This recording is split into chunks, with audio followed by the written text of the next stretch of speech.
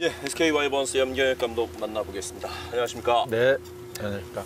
감독님 딱 뵙고 저희가 첫 인사가 안녕하셨습니까? 근데 사실은 작년 시즌 끝나고 그렇게 안녕하지 못하셨을 것 같아서 마음을 어떻게 좀 보내셨는지도 궁금합니다.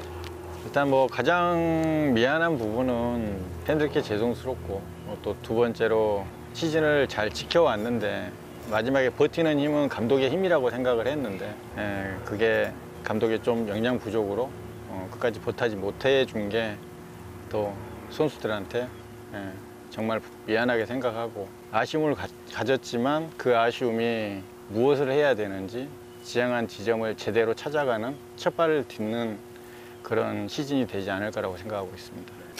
지금 이제 김광현 빠진 자리에 뭐 오선발 그리고 밖에서 보면 이제 내야 쪽에서의 좀더 공수주를 갖춘 진용 구축. 이게 이제 과제인데 지금 어떤 구상을 하고 있어요? 오선발하고 내야 쪽은? 일단 태- 김태훈 선수가 김강현 선수의 자리는 메워줄 거라고 생각을 하고요.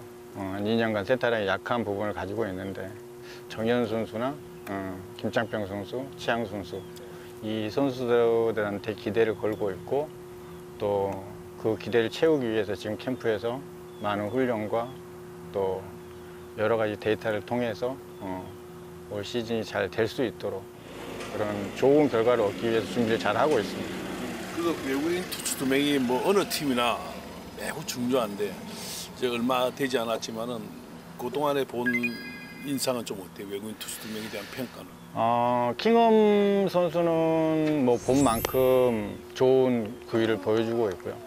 어, 핀터 선수는 저희가 좋은 어떤 신가성의 직구, 어, 투심 직구와 어떤 변화구의 조금의 약점을 알고 뽑았고 본인도 지금 캠프에서 채우기 위해서 어, 열심히 노력하고 있고 그게 시즌 시작할 때쯤까지 어느 정도 변화구가 어, 좋아지고 어떤 자기가 선택할 수 있는 구종을 만드냐가 어, 피터 선수는 더 어떤 좋은 결과를 낼 수 있는 포인트가 아닌가라고 생각하고 있습니다.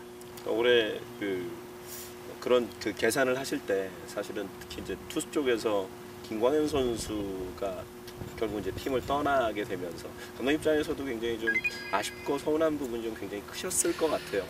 뭐 항상 정말 아쉽죠. 음, 김강현 선수가 있는 거하고 없는 거하고는 음, 뭐 팀한테는 또 감독한테는 영향을 주는 건 사실이지만 또 저희 팀 선수가 어떤 좋은 길을 갈 수 있는 거고 또 한국 야구를 또 발전시키기 위해서 좋은 길이 열리는 거고 어, 그런 부분에서는 더 좋게 생각을 하고 있고요.